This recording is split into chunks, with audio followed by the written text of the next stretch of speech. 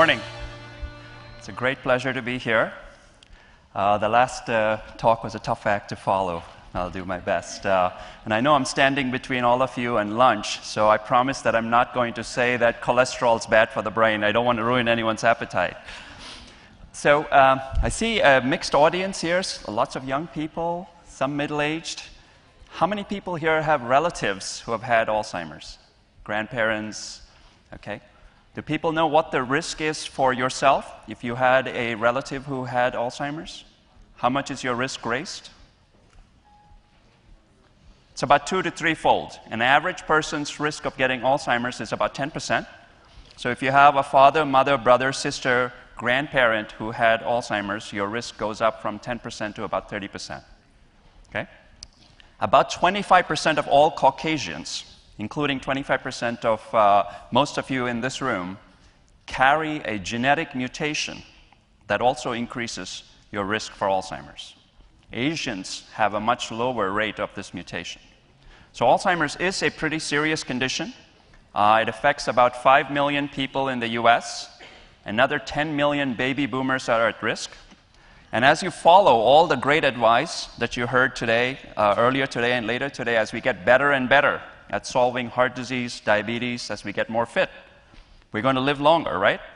And if we live longer, we're increasing our risk for what? Alzheimer's, unfortunately. So, so it's kind of a paradoxical issue where the better we get in medicine as taking care of heart disease, at taking care of diabetes, the longer we live. Unfortunately, aging is the single biggest risk factor. But there's some good news that I'm going to tell you before I leave. Uh, and there's also some new information that I'm going to talk about. How many of you did yoga this morning? Great.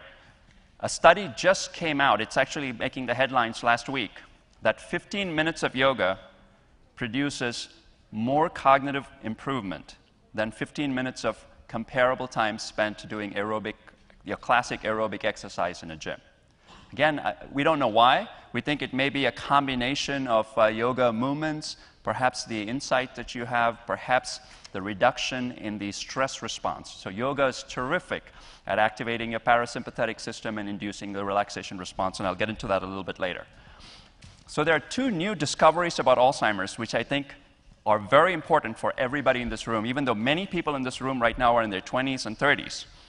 We used to think of Alzheimer's traditionally as an old person's disease. So that's why the name old timers disease sometimes, right? You heard of, heard of that. Typically, you think of Alzheimer's as striking people in their 70s and their 80s. We're now seeing it earlier and earlier. And now, with some new brain scans, we have evidence that the disease may start 15, 20 years before the memory loss begins. So, what that means is that there are many people in this room who are in their 40s who may be having silent Alzheimer's in their brain without their knowing it. I'm not trying to scare anybody. Uh, but it's not surprising when you think about it. You know, heart disease and heart attacks, do they start the day that someone walks into the emergency room? No. Bad lifestyle, cholesterol plaques have been building up, right? Obesity. You've been eating unhealthy stuff, inflammation, free radicals, all this stuff builds up over a lifetime of excess. And that's what leads to the heart attack. So, Alzheimer's is very much the same thing. So, that's the first thing. So I'm going to shift gears a little bit to something lighter. How many people have heard of uh, Arnold Schwarzenegger? Okay. Before he became governor, what was he famous for? And before he became an actor? Bodybuilding. How many people have heard of Scott Hagwood? Nobody. Okay, I'll tell you this very interesting story. So, I work at Duke, I'm a doctor at Duke and a, and a brain uh, scientist. Uh, about uh, 10, 15 years ago, Mr. Hagwood was in his uh, early 40s. He had memory problems, he came to Duke, he got himself checked out, and he was found to have a thyroid deficiency. So, people whose thyroid hormone is low often have depression, often have memory problems, they're very sluggish. So, just because you have memory problems doesn't mean you're getting Alzheimer's. There's a variety of other reasons. The most important is stress, uh, thyroid, metabolic stuff, depression, etc. So, we corrected his thyroid imbalance, but his memory never got back to where it was. So, he decided, you know, he's going to take it into his own hands and try to see if he can do something to improve his memory. So, over the next two years, he scoured the internet, looked at all kinds of memory training techniques. And he trained his memory to the point where he decided he was going to compete in the World Memory Championship. And he won the World Memory Championship three times in a row. Do you know what kinds of tests that people need to do to win the World Memory Championship? There probably, my guess is there are 100 people, 200 people in this room. So one of the tests is 200 names and faces you have to match, and you're given five minutes to memorize it. Another test, you have to memorize a deck of cards. Guess how much time it takes to memorize a deck of cards? Exactly. Under a minute, you have to memorize a deck of cards. We scanned his brain. We put his brain under a new type of a machine and scanned his brain while he was memorizing a deck of cards. Not because I wanted to go to Las Vegas and learn all the secrets, uh, but we just wanted to see how his brain differs from the brain of an average Duke student. Now, an average Duke student is not bad, even though, you know, they've subjected their brains to all kinds of stuff. But um, now, the difference we saw was the average Duke student's brain was very revved up while they were trying to memorize stuff. Lots of regions in the brain were like working very hard. It's almost like a runner puffing and panting as you're climbing a hill. Whereas Scott Hagwood's brain was very efficient, very silent. The metabolic processes were so low, it's almost like the brain was doing it on autopilot.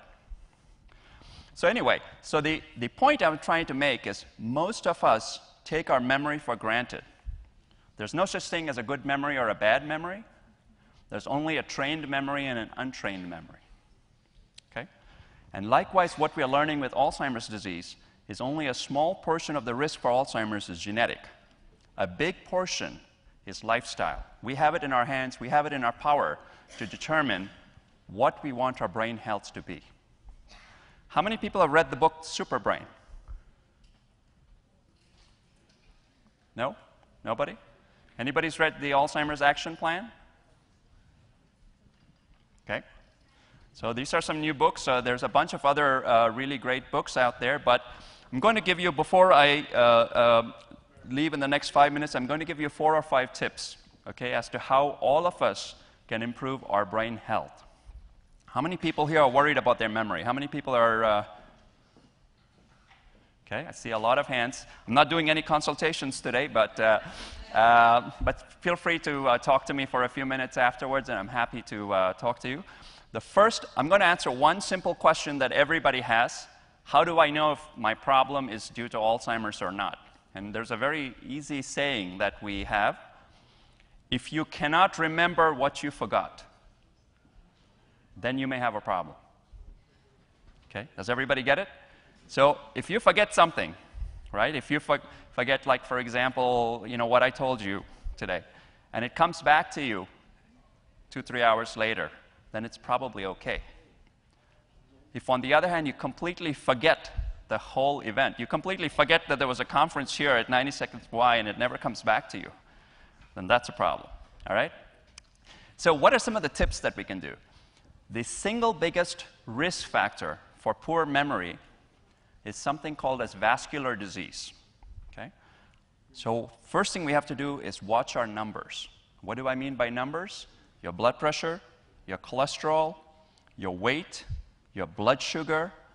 So these are critical. Your lipids. So these are critical. All right? I'm not trying to ruin your appetite, but the more heart problems you have, the more brain problems you have. So what's good for your heart is good for your brain because your brain needs circulation, blood flow.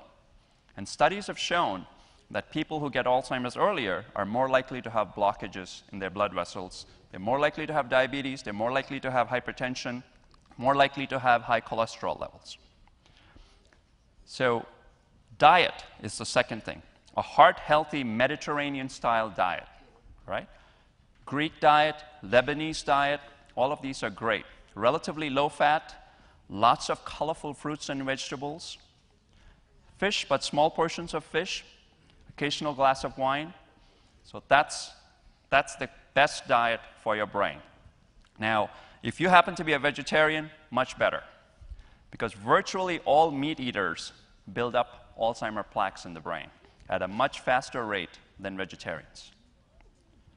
And one of the ingredients in curry, turmeric, Turmeric has one ingredient called curcumin. Everybody's heard of curcumin?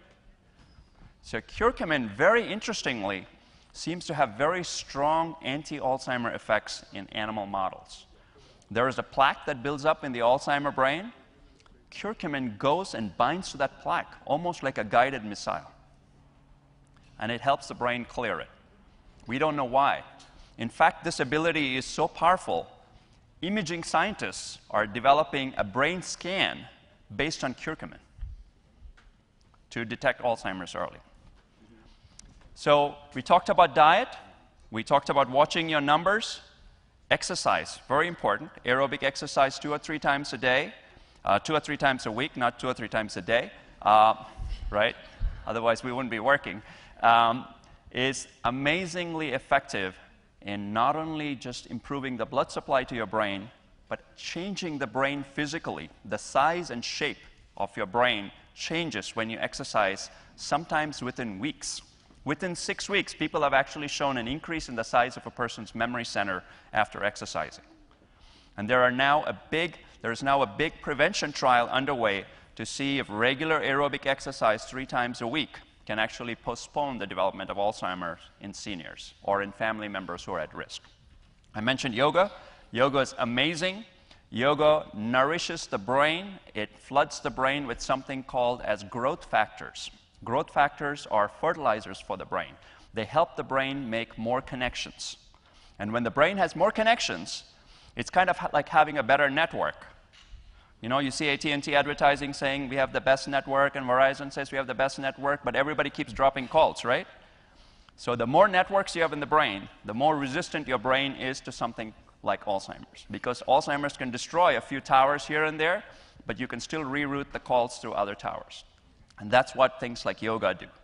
And this re-sculpting of the brain through yoga is called neuroplasticity.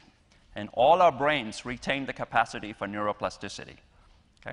So, and then a couple other things is always be curious, always learn new things. So going to this conference is actually, we can bill for it as a prevention for Alzheimer's, potentially, right? So, so keep your brain curious, and the best way to think about it is be like a baby. You know, when you give a baby a rattle, all the baby's senses come alive. The baby shakes the rattle, the baby bites it, the baby smells it, the baby throws it. You know, that's how the brain processes and comes alive. So don't be afraid to try new things. All right? And that's how your brain learns and grows. And when your brain grows, you build up something called cognitive reserve.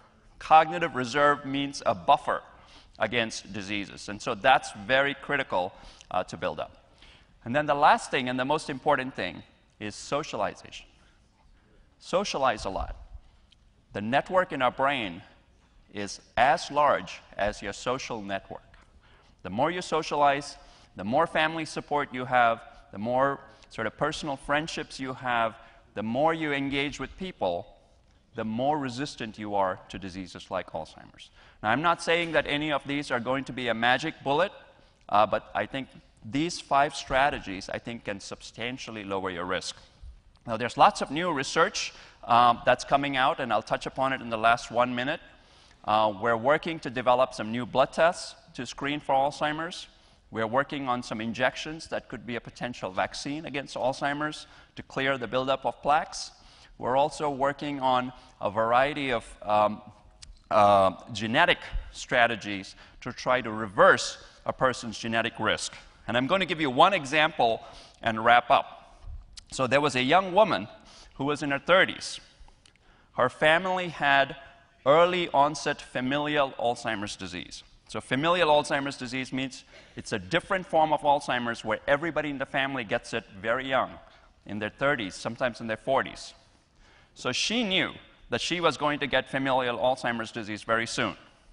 She wanted to have a child that was free of that gene. So we referred her to a fertility clinic that was able to do a special technique called pre-implantation genetic diagnosis, where you take a woman's, you do in vitro fertilization, you're able to select an egg that is free of the Alzheimer's gene, mate it with the husband's sperm, and then reintroduce the embryo back, and the woman was able to have a healthy child that was free of the Alzheimer's gene. So that gives you a sense of where we're going in the future. So with that, I, I want to thank you. Uh, I want to thank you for your attention. I want to thank the organizers for inviting me here, and hope you all keep your brains healthy.